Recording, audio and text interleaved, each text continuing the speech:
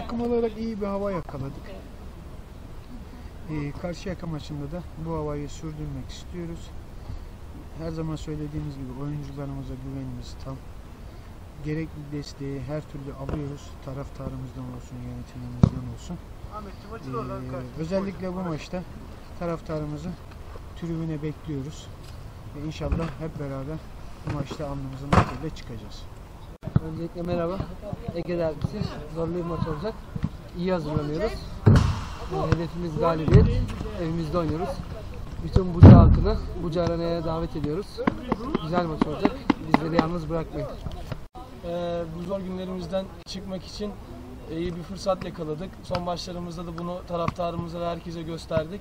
Bunun devamını da Karşıyaka maçında göstereceğimize inanıyoruz takım olarak. Bütün taraftarlarımızı stadımıza bekliyoruz.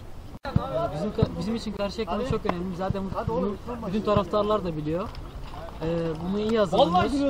İnşallah pazar günü kimseyi mahcup etmeyiz. Allah bizi utandırmasın.